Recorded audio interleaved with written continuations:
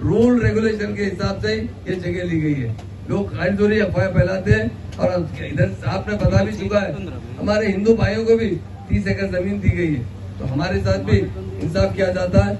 या हमारे केसीआर साहब भी हमेशा एक ही बात करते हैं कि सारे हिंदू, मुस्लिम, सिख, ईसाई जितने भी हो, उनको एक साथ देखा जाए, एक साथ तरक्की फराम किया जाए।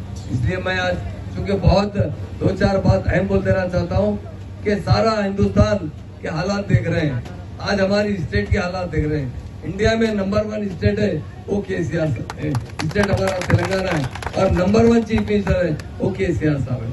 क्यों?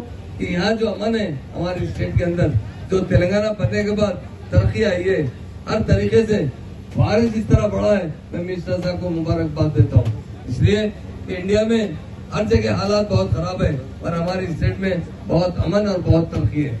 आज हमारी तरक्की हम नहीं कर सारे हिंदुस्तान के लोग कर रहे हैं।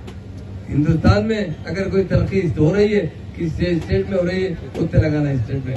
हमारे सीएम साहब हर तरीके से स्टेट को आठ साल के अंदर नंबर वन स्टेट बना चुके हैं। आज हर कोई इस बात को याद कर रहा है कि तेलंगाना बनने के बाद जो तरक्की हुई है, तेलंगाना बनने से पहले ना हमारे पास पावर था, ना हमारे पास हमारे किसान सुसाइड करते थे।